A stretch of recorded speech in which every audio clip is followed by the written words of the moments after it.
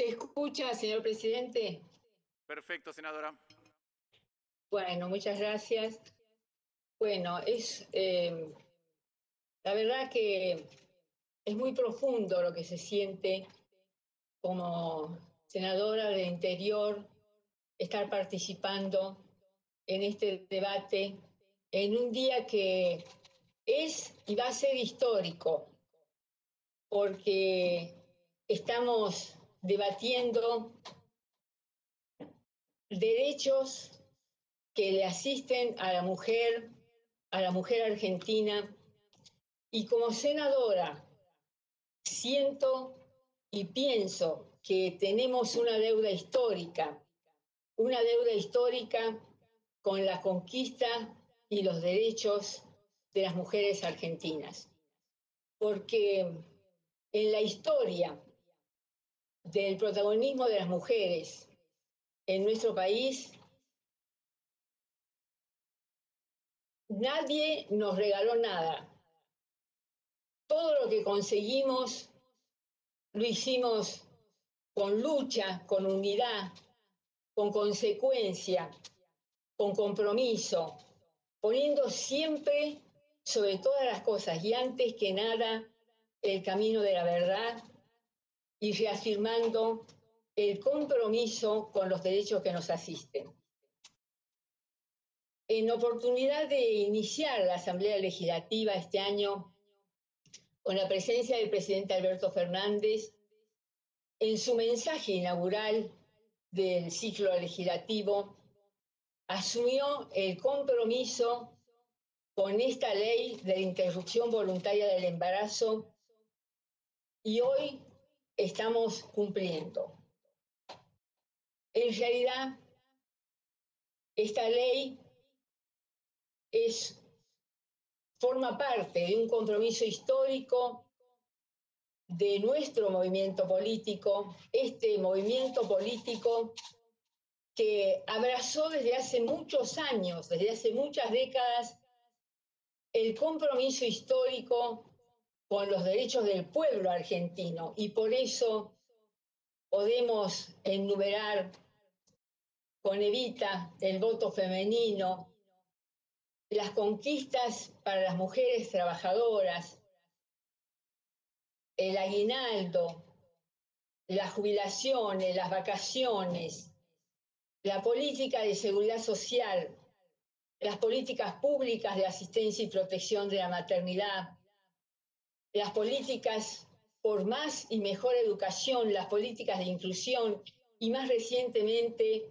el matrimonio igualitario, la identidad de género, el endurecimiento de las políticas de penalización de la trata de personas.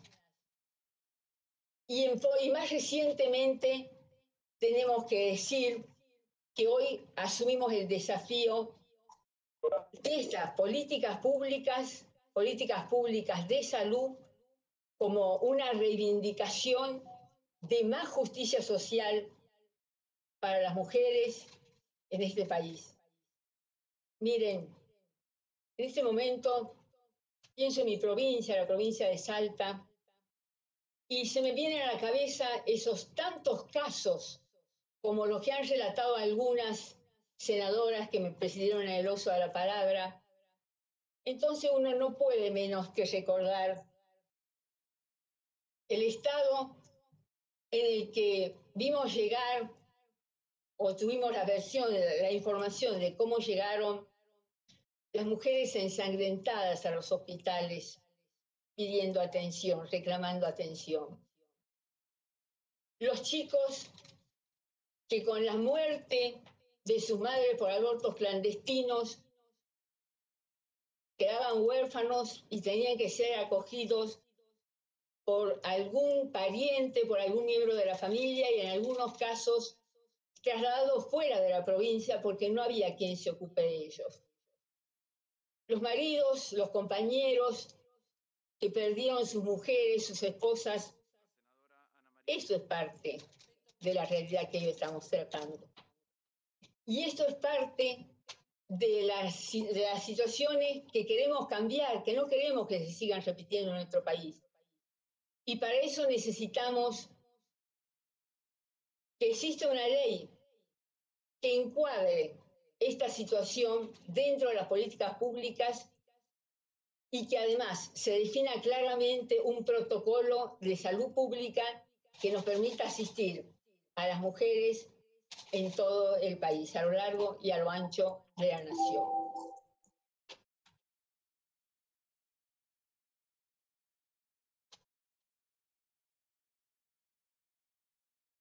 Me considero parte de una generación de argentinas y argentinos diezmados, que alimentó el sueño de un cambio profundo en Argentina. Un cambio por la igualdad, por la inclusión, para romper el atraso, por el progreso, por el desarrollo.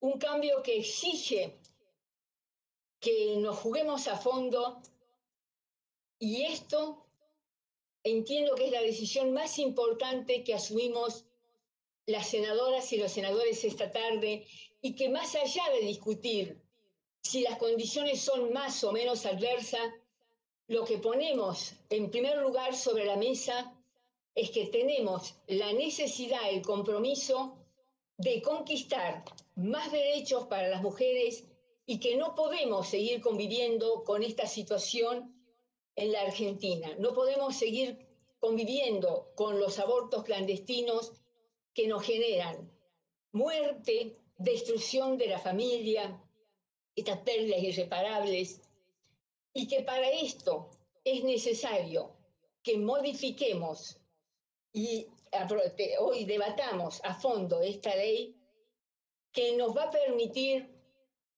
no continuar con esta política de esta política de, de injusticia en manos del aparato de la justicia judicial argentina, que hoy registra más de 1.500 casos de mujeres con causas penales, penalizadas, porque asumieron, usaron el desafío de decidir sobre su propio cuerpo y eso le significó ser tratadas por el Estado argentino como asesinas.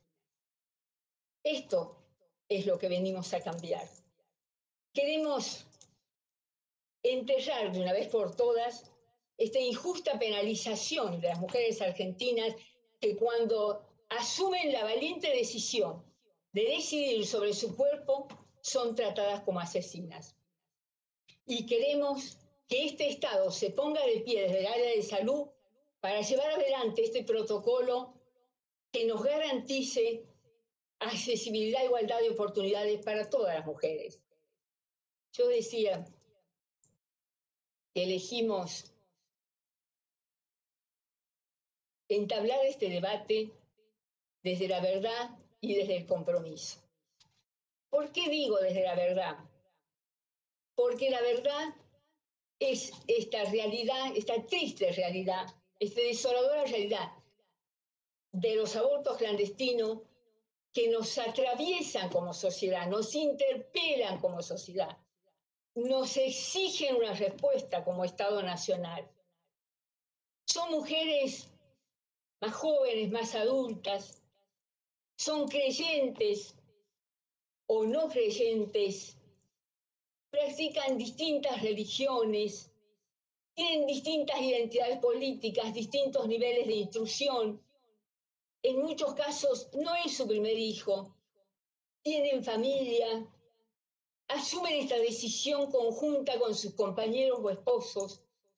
Esta realidad, que es una realidad heterogénea por la situación diferente de las mujeres, tiene un denominador común.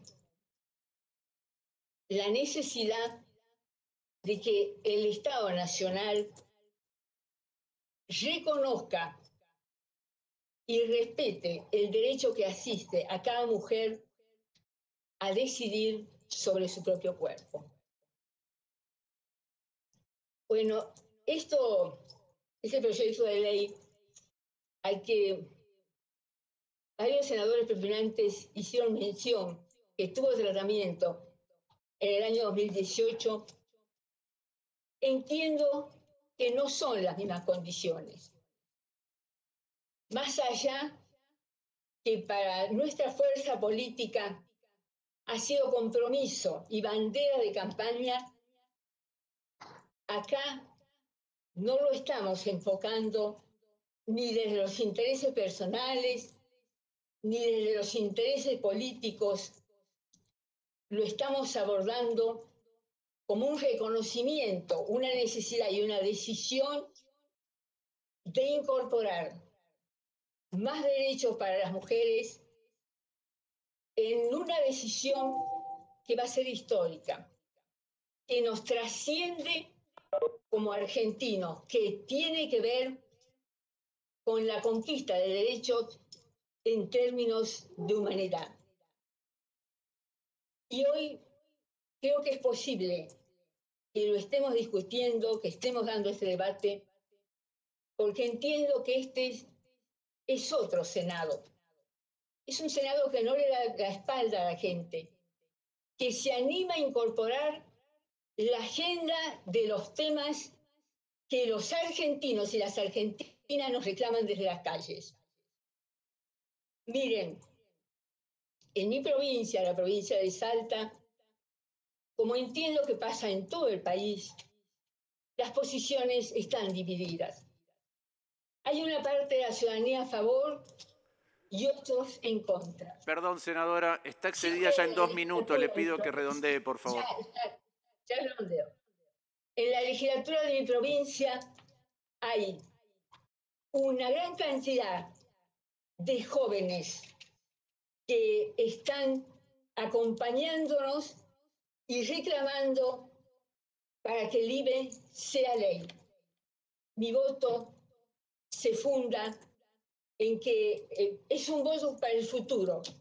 Yo elegí legislar hoy y definir mi posición a favor de esos miles de jóvenes que con responsabilidad nos reclaman que hoy aprobemos esta ley y que con eso estemos sumando en este camino de consolidación de la democracia. Estos jóvenes que hoy nos acompañan y que han asumido su compromiso en las calles del país son los que han nacido en democracia, los que han vivido las conquistas que he señalado anteriormente y los que hoy reclaman más conquistas porque tienen la decisión de participar en la construcción de un país con menos exclusión, con más igualdades, con más derecho y tienen la decisión de asegurar este lugar que a las mujeres nos ha costado tanto alcanzar. Finalmente, quiero adelantar mi voto positivo y decir, señor presidente, que yo soy absolutamente consciente que no he llegado a ocupar esta banca por un camino, un esfuerzo individual. Sé que llegar a esta banca ha significado el acompañamiento, el apoyo el sentir, la esperanza, la expectativa de muchas mujeres de mi provincia y por eso hoy me siento muy acompañada por todas estas mujeres y siento que estamos cumpliendo con este compromiso histórico por las mujeres de mi provincia y por las mujeres de mi país. Gracias, señor presidente. Gracias, senadora. Tiene la palabra el senador Pablo Blanco.